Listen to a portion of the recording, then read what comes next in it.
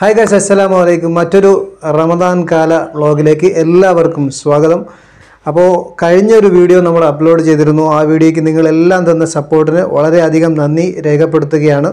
ഒരുപാട് ആളുകൾ നമുക്ക് അറിയാവുന്നതും അറിയാത്തതുമായിട്ടുള്ള ആളുകൾ ഒരുപാട് ആളുകൾ എന്നെ നേരിട്ട് കോൺടാക്റ്റ് ചെയ്യുകയും അതുപോലെ തന്നെ നമ്മൾ പറഞ്ഞ രീതിയിൽ അതിനെ നല്ല രീതിയിൽ അതിനോട് സഹകരിച്ച് ഒരുപാട് ആളുകൾ സഹായിച്ചിട്ടുണ്ട്. അപ്പോൾ എന്തായാലും അതിൽ സഹായിച്ച എല്ലാവർക്കും അർഹമായ പ്രതിഫലം ലഭിക്കട്ടെ എന്ന് പ്രാർത്ഥിക്കുകയാണ്.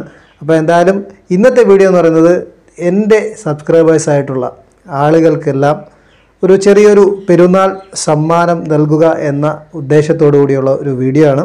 അപ്പോൾ ഈ വീഡിയോയിൽ നിങ്ങൾക്ക് എങ്ങനെയാണ് സമ്മാനം ലഭിക്കുക എന്ന് അറിയുവാൻ ഈ വീഡിയോ അവസാനം വരെ കാണുക. എന്തായാലും റമദാൻ കാലമാണ് പുണ്യങ്ങളുടെ കാലമാണ് കഴിഞ്ഞ വീഡിയോയിൽ സൂചിപ്പിച്ചിരുന്നു.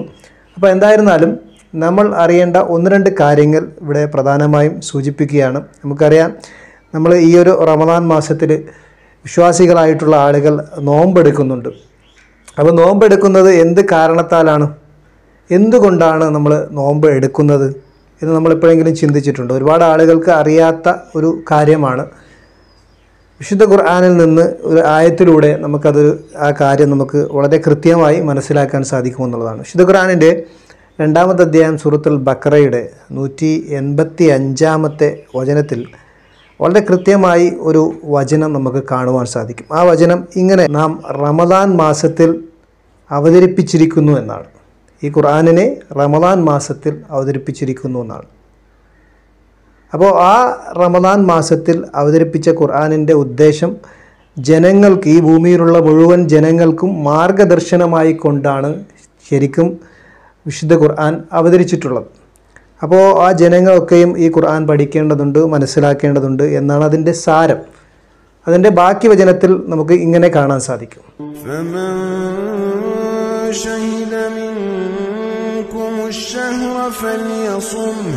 അതെ അതായത് ആർ ആ മാസത്തിൽ ഖുർആൻ അവതരിച്ച മാസത്തിൽ സാക്ഷിയായിട്ടുള്ളത് അവൻ നോമ്പെടുക്കുക എന്നുള്ളതാണ് ഖുർആാനിന്റെ നിർദ്ദേശം.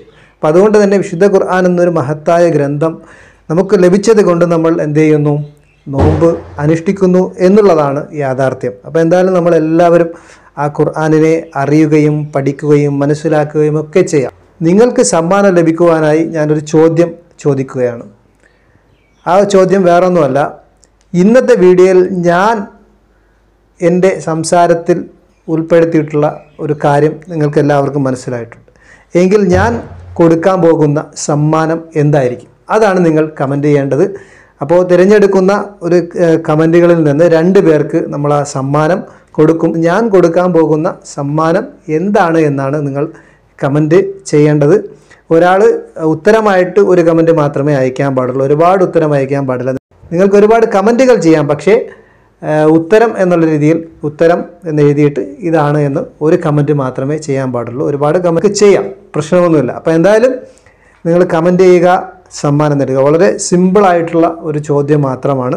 അപ്പോൾ ഈ ഒരു പിന്നെ മത്സരത്തിൽ നിങ്ങൾ പങ്കെടുക്കുക. നിങ്ങൾക്ക് തിരഞ്ഞെടുക്കുന്ന രണ്ട് പേർക്ക് ഒരു സമ്മാനം തീർച്ചയായും ലഭിക്കുന്നതാണ്.